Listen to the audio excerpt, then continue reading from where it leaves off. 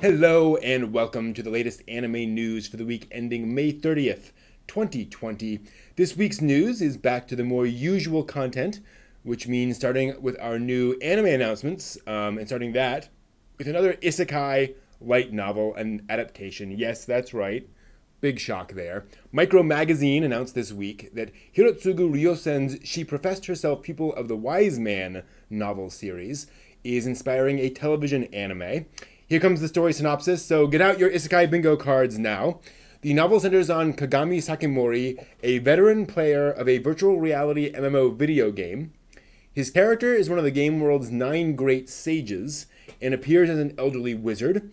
When he gets an appearance changing item, though, he begins to wonder what his character would look like as a cute girl instead. After falling asleep with the game suspended, he wakes up, of course, in the game world as his character, but his character is now in cute girl form. The novel began serializing on the Let's Become Novelists user supported website back in 2012 and began its print publication in Micro Magazine in 2014. The series has more than one, uh, 1 million copies, 1 million copies in circulation, with its 13th novel volume published just yesterday. The novel has also inspired a manga adaptation which began in 2016. So, yep, sounds like it's right down the Isekai um, alley way, or Isekai World Valley, whatever. So we've had our fantasy Isekai announcement for the week. Now onto the questionably more adult edition, the fifth compiled volume of Ikumi Hino's manga Megami Ryo no Ryobokun, or Dorm Mother of the Goddess's Dorm, officially confirmed this week that an anime project is in the works. The series was teased back in April when the first pictures of the volume were revealed and the cover hinted at the new project. The manga's story centers on 12 year old boy Koshi Nagumo. Koshi finds himself homeless and penniless like it seems so many Japanese 12 year old boys in anime, and is picked up from the streets to become the dorm mother at a dormitory full of troubled women's university students. That's not creepy at all. Surrounded by idiosyncratic and difficult older women, Koshi begins a slightly ecchi new life, is how they describe it. Imagine that gender swapped. Actually, don't. The manga launched in Kadokawa's Shonen Ace magazine in December of 2017 and had its fourth compiled book published back in October. Our next announcement continues along classic anime tropes, this time that every organization has to have a cute mascot. A television anime series has been revealed for the MIFA organization's panda mascot character Mifanda.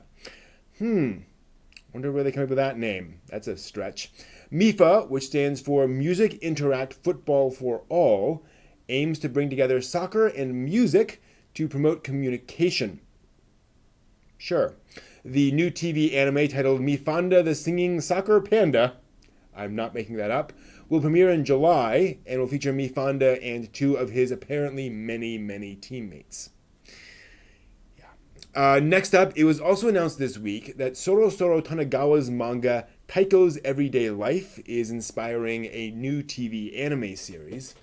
Um, the series will premiere on Tokyo MX on July 1st, with new one-minute episodes airing each day, Monday through Friday at 5:59 p.m. So this is going to be a really short one. The story centers on office worker Taeko Shinbo, who is always patient and greets anything that comes her way cheerfully. Aww. The manga previously inspired a 26 episode TV anime, which aired in October of last year, in case you were wondering, doesn't that sound familiar? The cast from the first anime will be reprising their roles, including Taeko, who is played by an actual company employee from the outskirts of Tokyo named Tanaka. That's pretty cool. The manga debuted on Twitter in 2015 and began official publication in City Living magazine in 2016, with its third compiled book volume released in March of this year. So, relatively recent work, um, and uh, coming again to anime in very, very short snippets. Last up for this week's new anime, excuse me, an anime adapted from a game adapted from an anime. Because why not? The Yuki Yuna is a hero, a sparkling bouquet smartphone game celebrated its third anniversary this week with a live stream where it announced that the game is inspiring its own short anime featuring an original story. The story also features the transforming girls of Sanshu Junior High's Hero Club, where the club president announces the development of the long awaited Hero Club Udon. It sounds like it might be a little less serious than the original anime, just guessing. The new anime is also the fifth part of the celebration of the original anime's fifth anniversary. The original Yuki Yuna is a Hero TV anime aired in October of 2014. The smartphone game launched in June of 2017 and launched on PC in October of 2017, which is also when the anime's second season premiered. The anime also inspired a manga adaptation, as all decent anime do, which ran from 2014 to 2018. Man, things move that quickly. You got to do things uh, fifth anniversary uh, releases.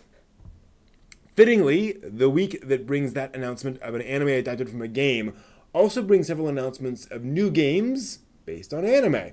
Several anime properties announced this week that they have video game adaptations in the works, and you see some of them here.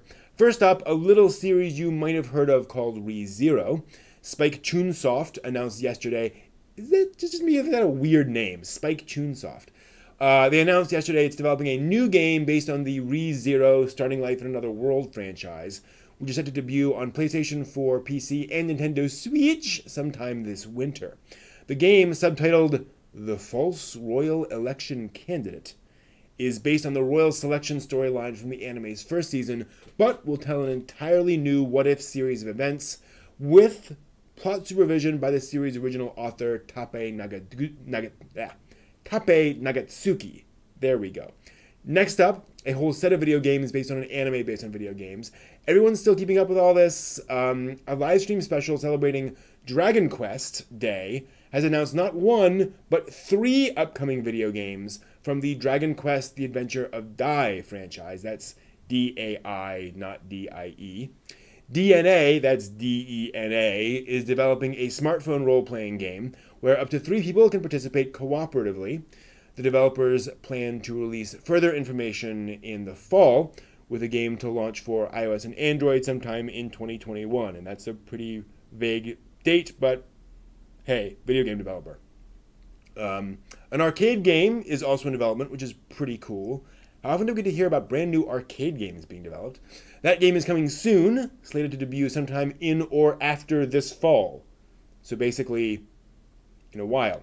Thirdly, Square Enix itself is developing the new Infinity Strash Dragon Quest The Adventure of Dai game for game con- consoles, which will also release sometime in 2021. So, Dragon Quest fans rejoice.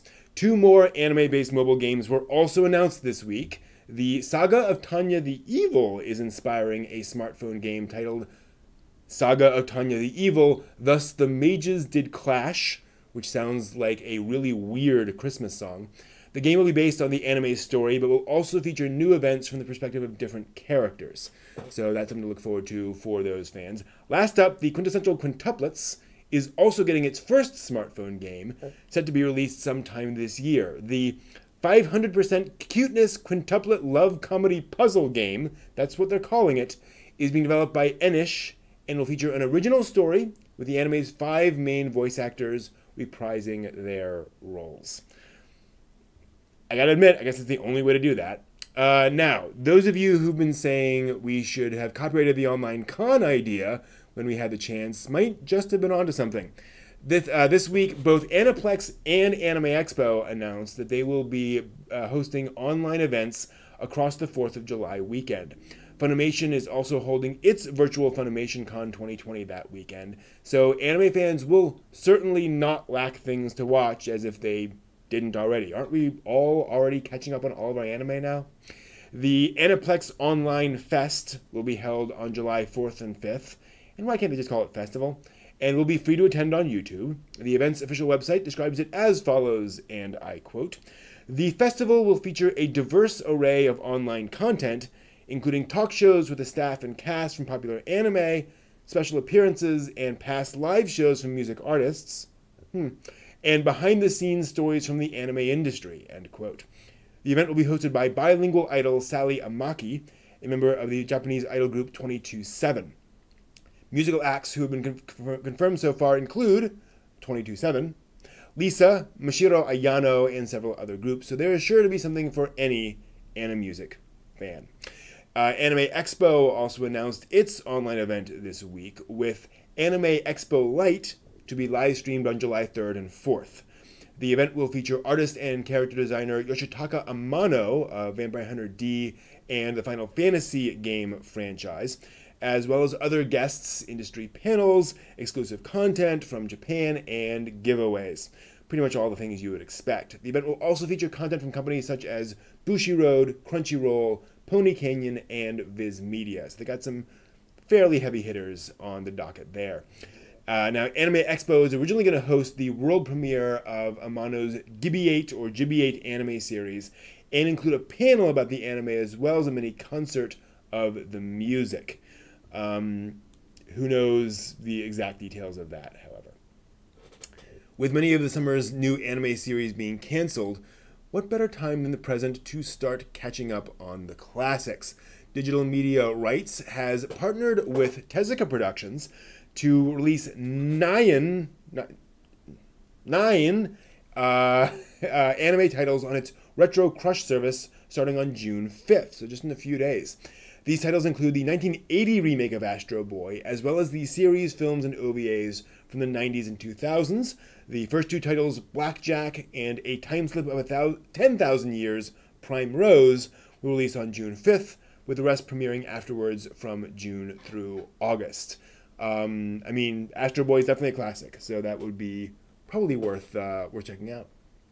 Last up this week, much of our business and personal lives have been moving over to Zoom, so why not our favorite anime and manga stories as well?